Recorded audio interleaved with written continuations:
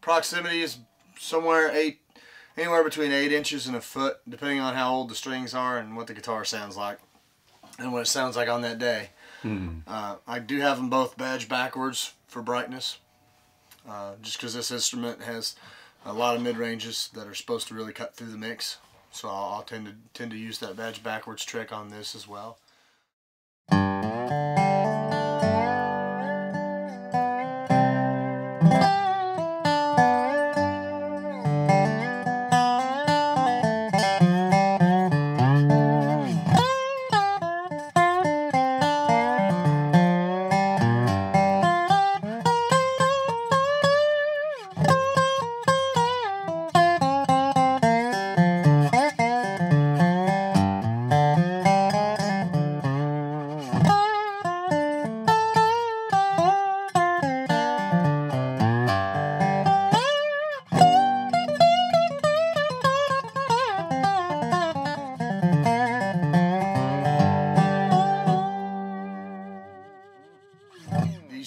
Depending on the the what dobro or what resonator guitar uh, you're recording this guitar is very robust. It has, it has lots of low mids. It's a very fat guitar.